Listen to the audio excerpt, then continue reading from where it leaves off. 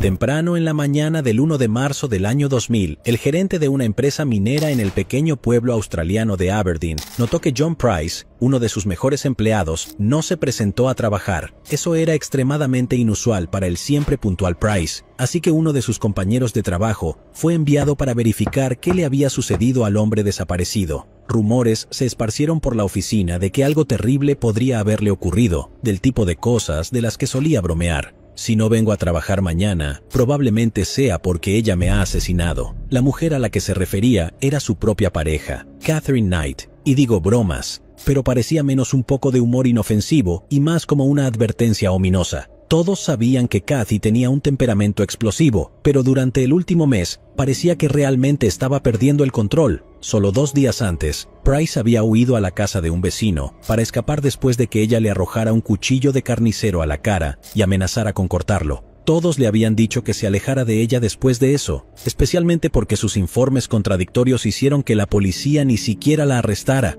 Katy todavía estaba libre para atormentarlo, así que tal vez regresó para terminar el trabajo. Eso era lo que estaba en la mente del compañero de trabajo cuando se detuvo frente a la casa de John en la calle Andrews, número 84, esa mañana del martes, y encontró el auto del minero desaparecido aún estacionado en la entrada. Un vecino de al lado también notó que John no estaba levantado, y en movimiento como de costumbre ese día. Los dos hombres trabajaron juntos para verificar su estado. Rodearon la casa para golpear la ventana del dormitorio de Price, por supuesto sin obtener respuesta, hasta que decidieron intentar por la puerta principal. A medida que se acercaban, notaron algo extraño en la manija, una mancha oscura, rojiza marrón. Era sangre seca y estaba manchada en el metal, de modo que llamaron como locos a la policía. Mientras esperaban a que llegaran los agentes, los dos hombres se preguntaban qué podía estar esperándolos detrás de esa puerta. No importaba cuán mal imaginaran la situación en ese momento, la realidad resultaría infinitamente peor. Pues sí, amigos, detrás de esa puerta manchada de sangre se encontraría una de las escenas de crimen más horripilantes,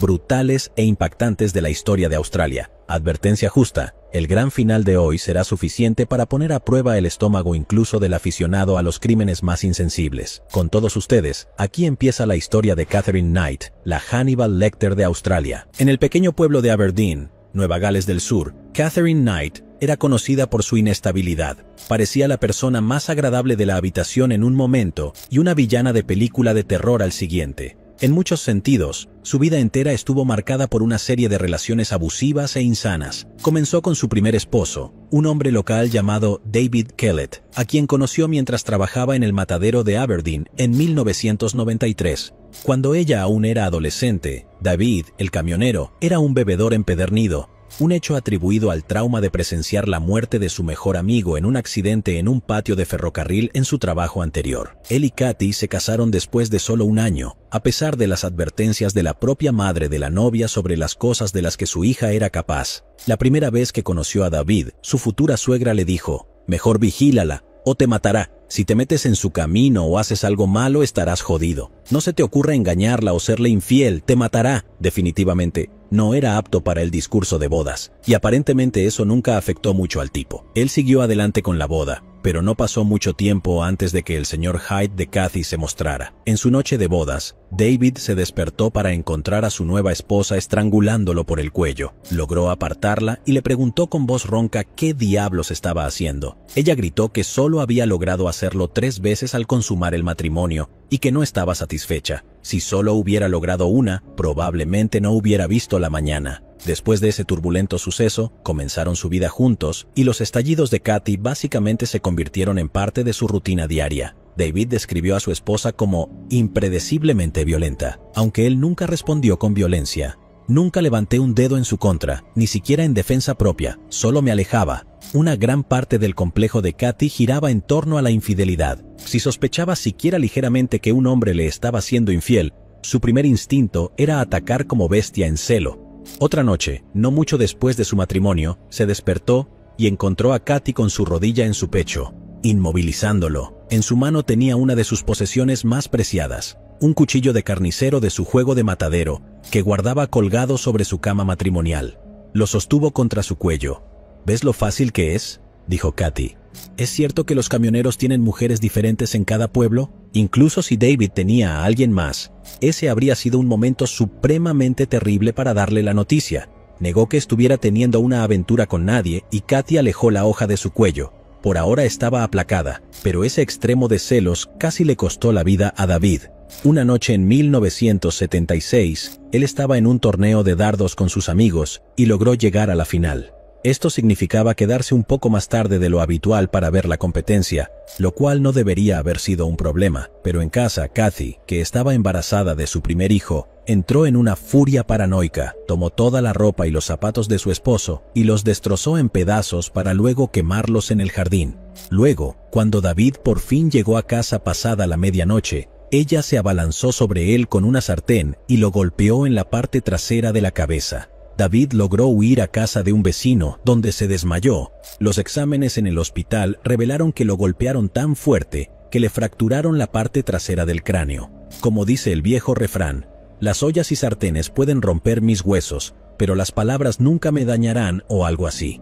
Desafortunadamente, como suele ser el caso con los abusadores violentos, Kathy logró convencerlos de no presentar cargos. Después de que naciera su hija Melissa Ann, David decidió que había tenido suficiente. Dejó a su esposa abusiva por otra mujer y se mudó al norte a Queensland, a un día completo de manejo de distancia. Inteligentemente, se aseguró de que nadie le dijera a su señora amante de los cuchillos y las sartenes su nueva dirección. Nuestra Katy lo tomó tan bien como podrías esperar, en cierto sentido. Las tendencias violentas de la infancia de Katy no fueron culpa suya, simplemente fue producto de una infancia bastante traumática. La Hannibal Lecter australiana nació el 24 de octubre de 1955 en la ciudad de Tenterfield, minutos después de su hermana gemela. Sin embargo, su vida estuvo envuelta en controversia desde el primer día. Su madre, Bárbara, dejó a su esposo para estar con el padre, un alcohólico grave incluso según los estándares australianos, llamado Ken Knight. Esto causó un gran escándalo en el pequeño pueblo conservador, especialmente porque los dos amantes se conocieron a través del esposo de Bárbara.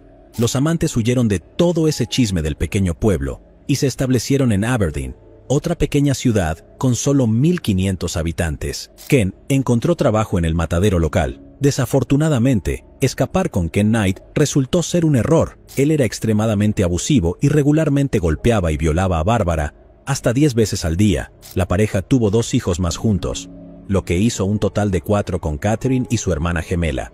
Todos ellos presenciaron la horrible violencia física y sexual infligida a su madre, y ella, como no tenía a nadie más en quien confiar, a menudo revelaba algunos de los peores detalles a la pequeña Catherine y a su hermana. Cuando le curaban las heridas, Bárbara les contaba a sus hijas gemelas lo repugnantes y brutales que son los hombres y cómo son incapaces de ser amables o fieles.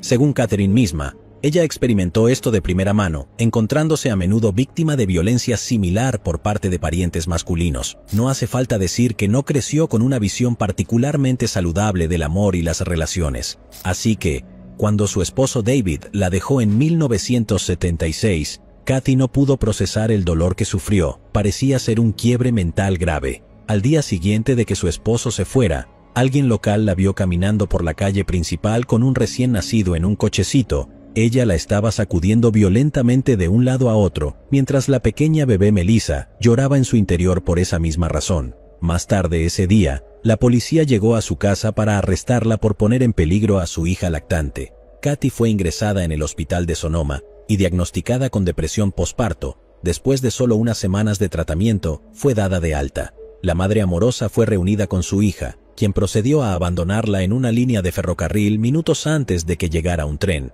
Afortunadamente, un recolector local conocido como el viejo Ted vio el cochecito en las vías y logró salvar a la bebé de dos meses con solo segundos de margen. En ese momento, la madre amorosa estaba vagando por la calle principal, amenazando a la gente con una hacha robada. Katy fue ingresada nuevamente en un hospital psiquiátrico, pero de alguna manera fue declarada cuerda y se le dio de alta al día siguiente. No hubo cargos por intento de asesinato, ninguna intervención de los servicios de protección infantil, simplemente se le permitió caminar libremente como si no hubiera intentado deshacerse de su hija como un villano de una vieja película del oeste. Esta vez, Katy decidió que no era necesario descargar su dolor en la niña, tenía que encontrar al hombre que le rompió el corazón. Más tarde esa semana, agarró a una de sus compañeras de trabajo en el matadero y le cortó la cara.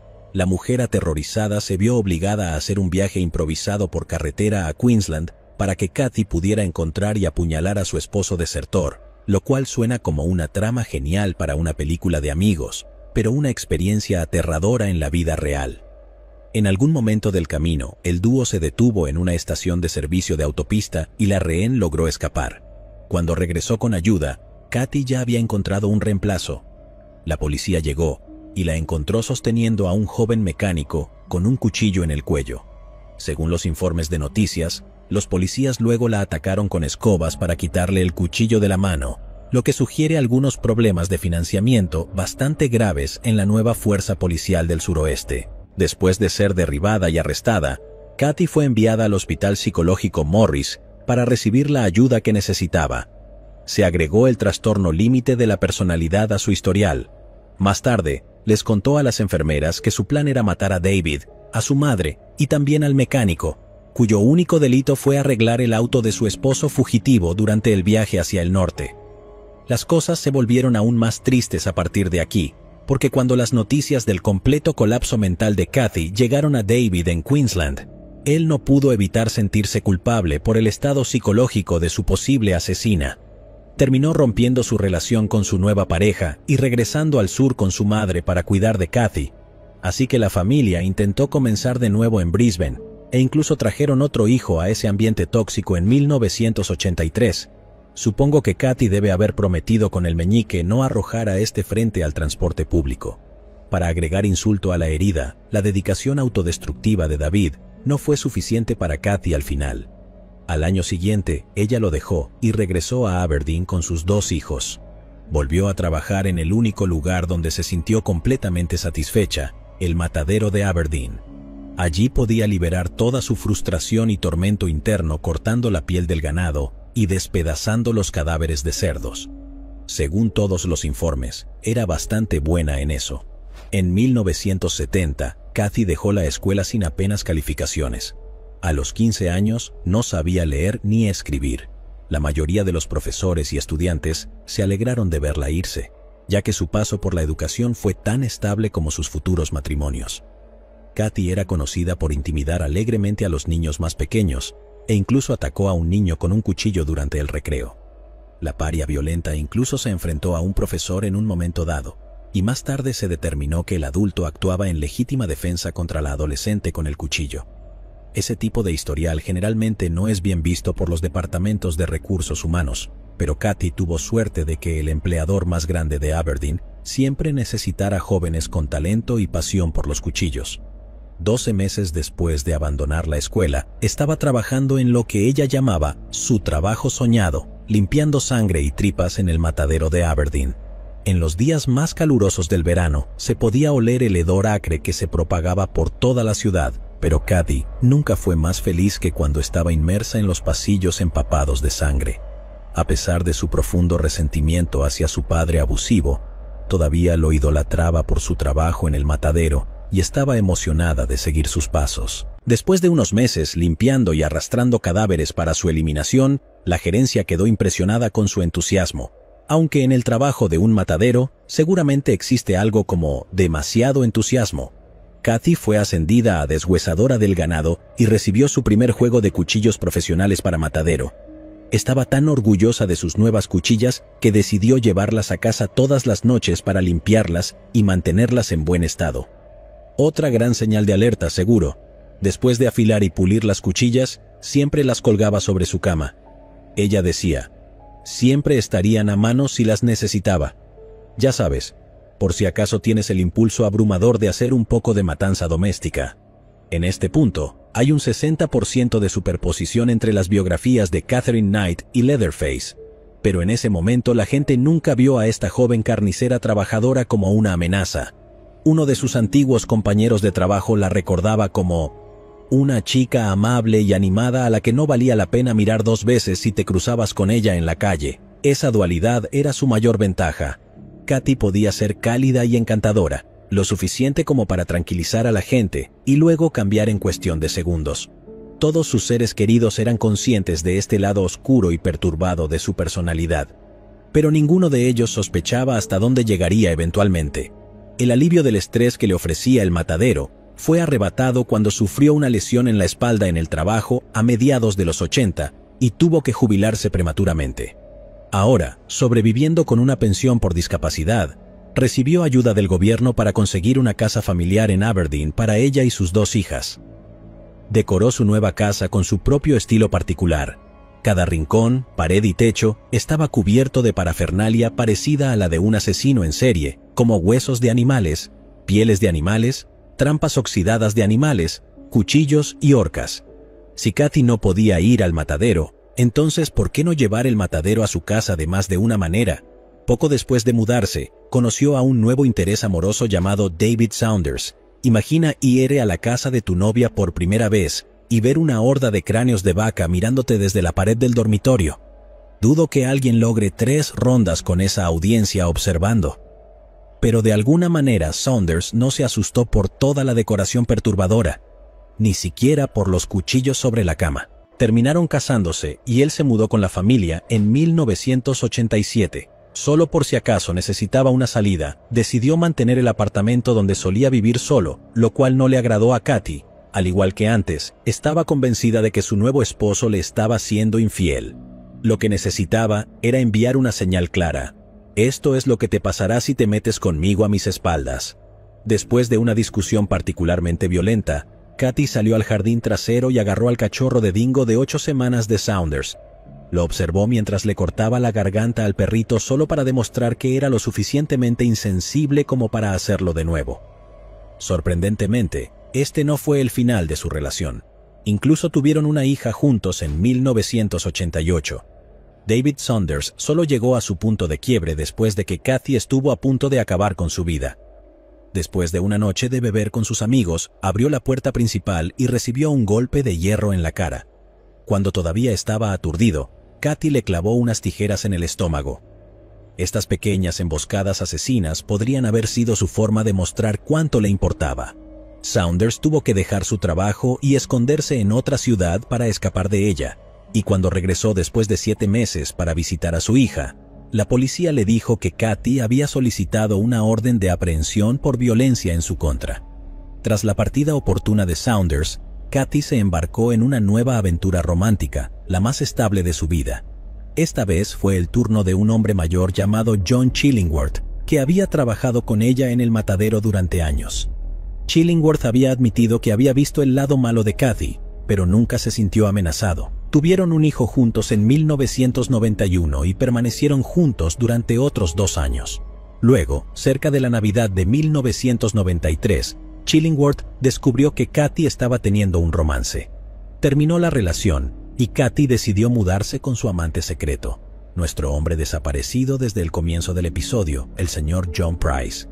Era un hombre trabajador y apreciado, con el icónico corte de pelo rizado de un típico hombre australiano. Hasta ahora has visto exactamente de lo que Katy era capaz, y tampoco era un secreto en el pueblo. Pero de alguna manera, Price debió haber visto algo en esta madre de cuatro hijos de 38 años, con un largo historial de casi matar a sus amantes, una casa como la guarida de un asesino en serie y una obsesión poco saludable por los cuchillos.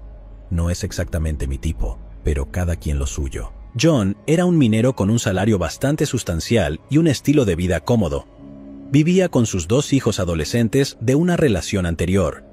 Kathy tenía sus propios hijos pequeños que se llevaban bien con muchos de ellos al principio, pero las cosas pronto se pusieron amargas después de que John revelara que no estaba particularmente interesado en casarse de nuevo. Ambos eran de mediana edad, y él simplemente no veía mucho sentido en eso. Después de eso, el lado oscuro de Katy salió a relucir poco después de que se mudaran juntos en 1995. John fue llamado a la oficina de su supervisor y se le pidió que tomara asiento. La gerencia le presentó un video desde dentro de su propia casa que mostraba lo que parecía ser propiedad robada de la empresa, kits de medicamentos escondidos en un armario. John les suplicó que nunca robó los kits. Eran solo unos viejos que había rescatado de la basura, pero no había nada que pudiera hacer para convencerlos. A pesar de haber trabajado allí durante 17 años, lo despidieron en el acto, y no había duda de quién enviaría el video esta era la venganza de Katy por la falta de anillo en su dedo. fue echada por John tan pronto como llegó a casa, pero solo unos meses después volvieron a salir. Él la mantuvo a distancia, negándole que volviera a mudarse por el momento. La mayoría de sus amigos estaban furiosos de que siguiera viéndola y se negaron a hablarle mientras estuviera con esa abusadora. Por otro lado, Katy no estaría satisfecha hasta que pudiera volver a jugar a las familias felices y los dos se unieron en santo matrimonio, así que sus discusiones se volvieron aún más frecuentes y explosivas. Cada vez que John huía de ella aterrorizado, ella lo inundaba de disculpas y culpabilidad, y volvía. Las cosas continuaron así durante años. La pareja se reunía y se separaba una y otra vez, hasta que Kathy decidió que había tenido suficiente.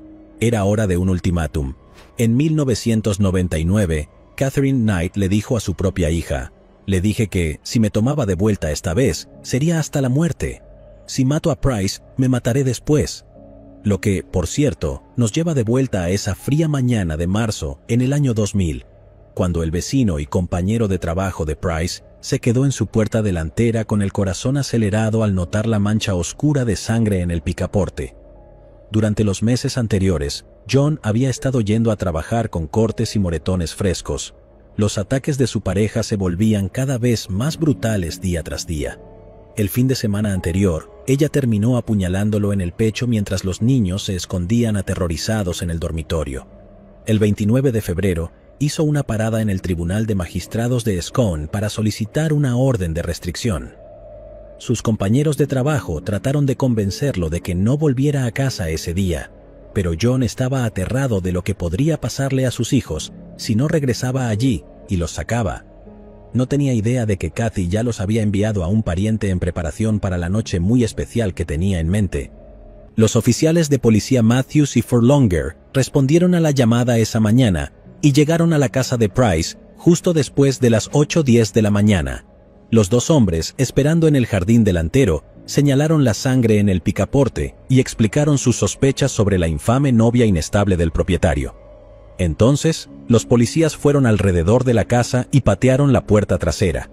En la tenue luz del pasillo lúgubre, el oficial Matthews distinguió lo que parecía ser un trozo de tela colgando del techo. Había algo colgando que bloqueaba mi entrada. Pensé que parecía algún tipo de manta.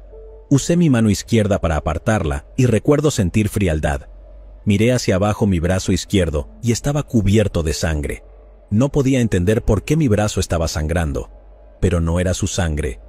Fue entonces cuando Matthews registró la extraña textura de la manta contra su brazo y el brillo escarlata púrpura en el suelo y los agujeros para los ojos. La manta que acababa de apartar era en realidad la piel de John Price, quitada en un solo pedazo completo, aún resbaladiza con sangre. Colgaba del gancho de carne fijado al techo del pasillo. Los oficiales esperaban una llamada rutinaria de violencia doméstica, tal vez un asesinato en el peor de los casos. Sin embargo, lo que no esperaban era ser arrojados de cabeza a un nivel de Silent Hill. Vi un torso en el suelo sin cabeza, sin genitales, relató Matthews. El cuerpo desollado y desmembrado de Price de 44 años había sido apuñalado 37 veces, con heridas profundas que perforaron los pulmones, el hígado, los riñones y seccionaron la aorta. Esto dejó un vasto charco de sangre en el suelo de la sala donde se encontró el cuerpo, el cuerpo había sido despedazado por una mano experta, por alguien que sabía cómo quitar toda la piel desde la cabeza, la cara, la nariz, las orejas, el torso, el cuello y los órganos genitales y las piernas en una sola pieza.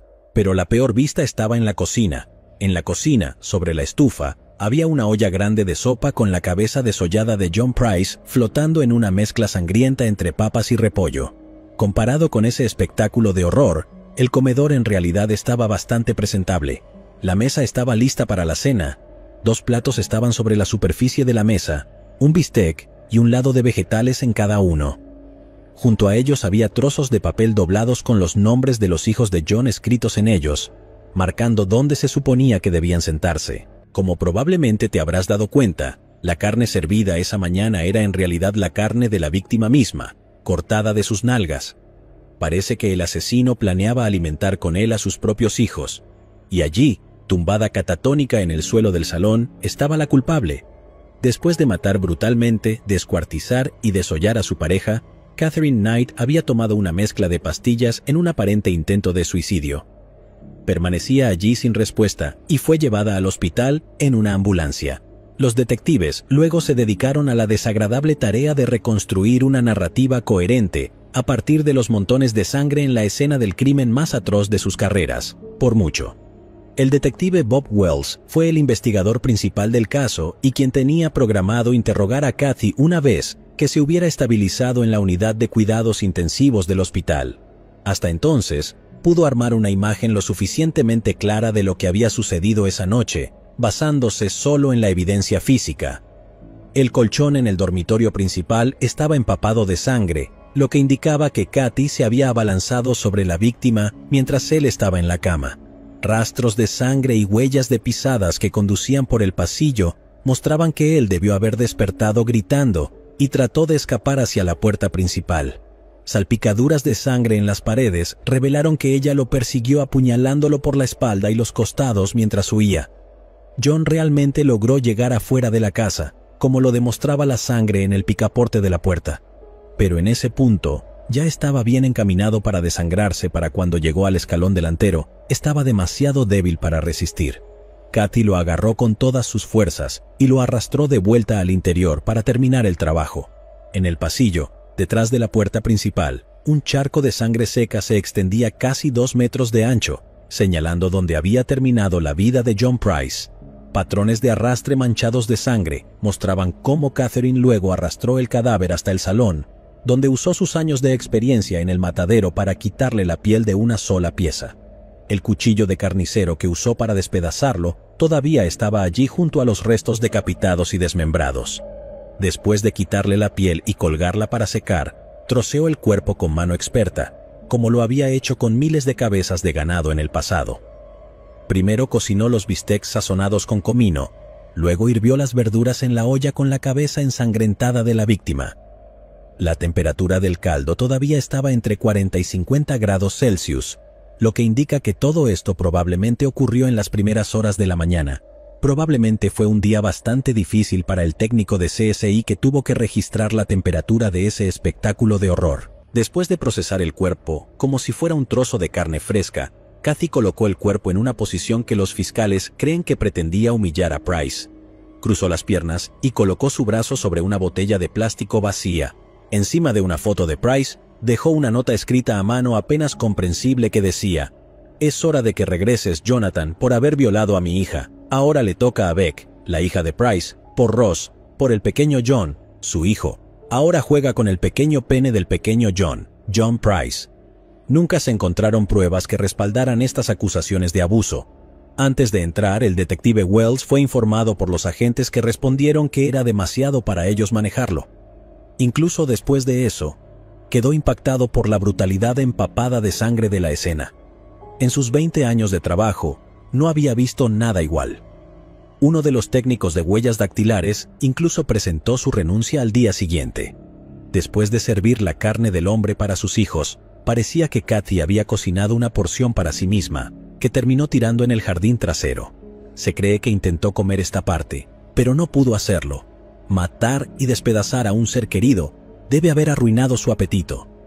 Después de eso, decidió poner fin a su propia vida, tal vez de manera premeditada o tal vez después de un inesperado arrepentimiento. De cualquier manera, fue al botiquín y tomó todos los medicamentos que pudo encontrar. Luego murió dolorosa y lentamente durante horas hasta que la policía derribó la puerta trasera y la encontró allí. Por un momento pareció que había logrado poner fin a las cosas, pero después de tres días en el hospital, fue arrastrada de vuelta al mundo de los vivos para responder por sí misma. El detective Wells la visitó en la sala para su primera interrogación. Al igual que todas las demás veces en las que había infligido violencia horrible a una pareja, ella había vuelto al lado más amable de su personalidad, muy lejos del demonio del infierno que el detective Wells esperaba. De hecho, fue bastante complaciente desde el principio.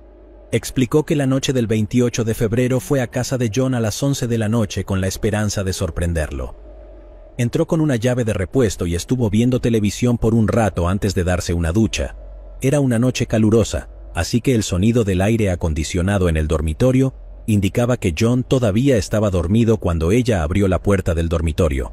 Ella afirmó que se puso una nueva pieza de lencería y despertó a la víctima. Él quería tener relaciones sexuales, así que lo hicimos. Fue amable y gentil. Después, fue al baño y cuando regresaba a la cama, y eso es todo. Eso es todo. Es todo lo que ella recordaba. Nada de asesinar, descuartizar, desollar, ni nada de esas divertidas cosas. Afirmó que se desmayó durante todo el episodio, pero el detective Wells podía sentir que no estaba diciendo la verdad. Cito, Entrevistas a muchas personas y te das cuenta de cuando alguien te está mintiendo, dijo. Y así me sentí con esa entrevista. Si ella quiere llevarlo a la tumba, que así sea. Ahora, la fiscalía definitivamente no necesitaba una confesión para probar el crimen, considerando que Katy estaba prácticamente bañada en la sangre de la víctima cuando llegó la policía. La única pregunta que quedaba era por cuáles cargos debería ser condenada.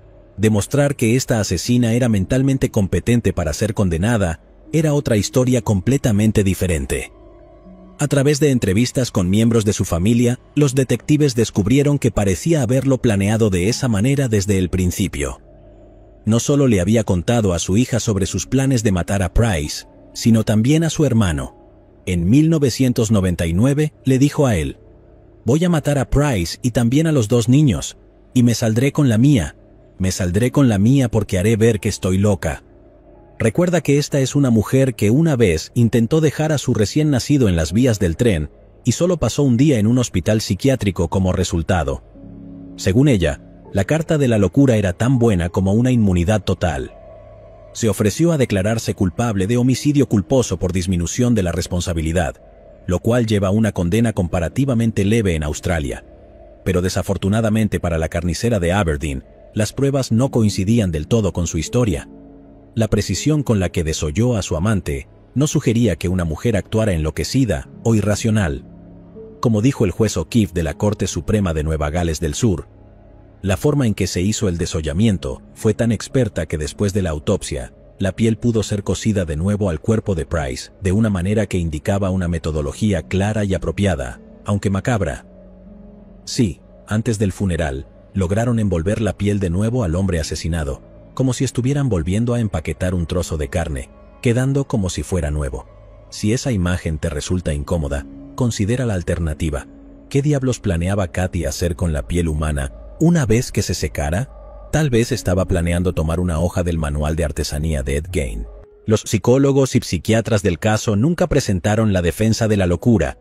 Cuando comenzó el juicio en octubre de 2001, uno de ellos le dijo al tribunal, el problema no es que ella no supiera que estaba mal hacer esas cosas, sino que no le importaba hacerlas. La insensibilidad no es una falta de conocimiento de lo que está bien o mal. Como cualquiera que haya salido con ella sabía, Katy era simplemente una persona excepcionalmente cruel, dispuesta y capaz de apuñalar, golpear y aterrorizar a las personas más cercanas a ella. Y en cuanto empiezas a matar cachorros, perdiste cualquier oportunidad de simpatía de la multitud en Internet. La acusada se mantuvo en su historia de amnesia y se declaró inocente, pero poco después de que comenzara el juicio, debe haber visto que era una causa perdida y cambió su declaración. El juicio fue aplazado antes de que el primer testigo subiera al estrado. El juez O'Keefe concluyó la sentencia diciendo que los últimos minutos de su vida deben haber sido un tiempo de terror absoluto para él, mientras que para ella fue un tiempo de disfrute total.